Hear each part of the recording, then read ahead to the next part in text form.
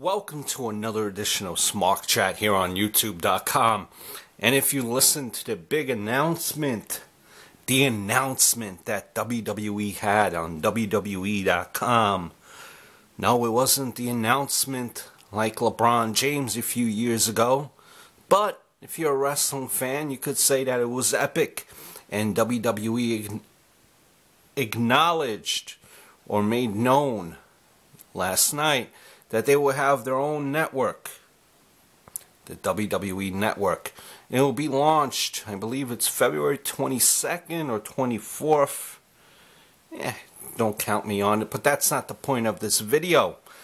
Now, if you're worried about your cable provider not providing you the network, well, you're in luck because the WWE Network will be on WWE.com.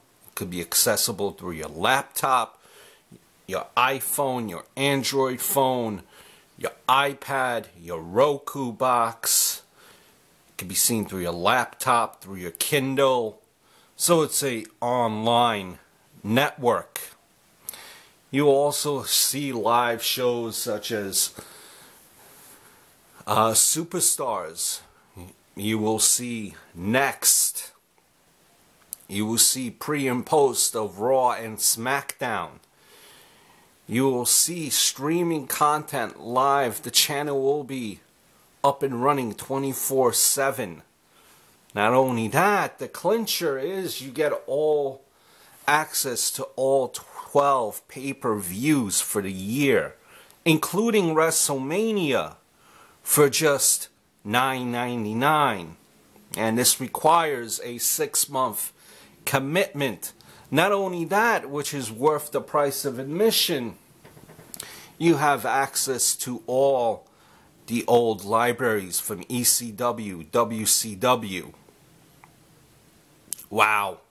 What more can you say if you're a wrestling fan? But I just wanted to give you just a few more thoughts here before I leave you guys. And I wrote them down here.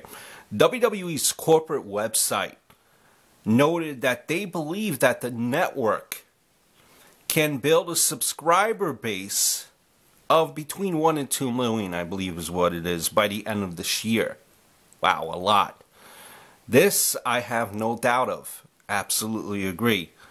But the price will be the loss of traditional pay per view buys. WWE thinks it's also possible some carriers could drop them for placing pay per views on the network. WWE could lose big in the end, and while I'll give them credit for introducing a revolutionary platform, everyone's excitement will change if WWE starts to lose money. And I sincerely doubt this introductory price of $60 for six months, plus getting WrestleMania on top of that to boot, will continue long term.